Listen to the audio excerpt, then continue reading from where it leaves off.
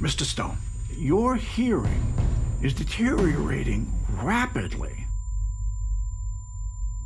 And the hearing that you have lost is not coming back.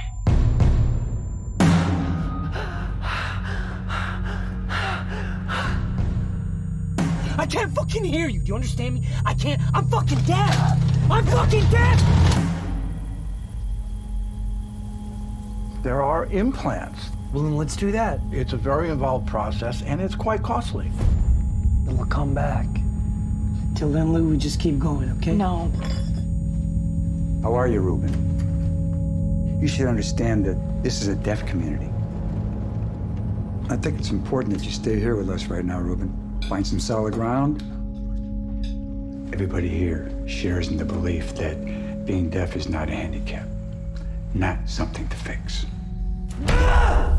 I'm getting on a plane and you're gonna go back to that place. Slow down. Go back there right now! Promise, say it! I need you to wait for me.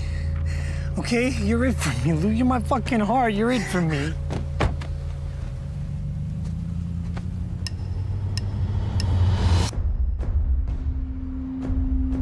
It's time. I gotta do something. How'd you get the money?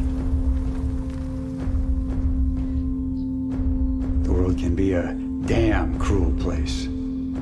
I'm trying to save my life.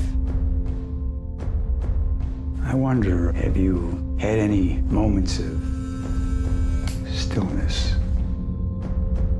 For me, those moments, that place,